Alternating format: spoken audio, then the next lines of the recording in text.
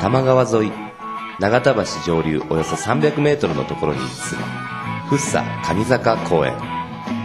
ここでは毎年夏の終わりにロックフリークが集まるフェスティバルが行われている。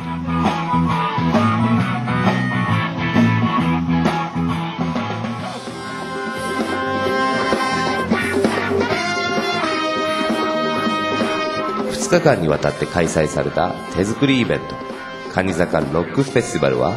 今回で22回目の歴史を持つ。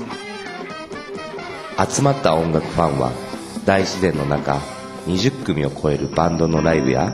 所狭しと並んだ模擬店を楽しんでいた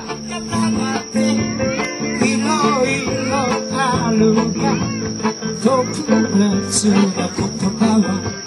何もいらないとりあえず昨日立て込みで今日コンサートお祭りの1日目。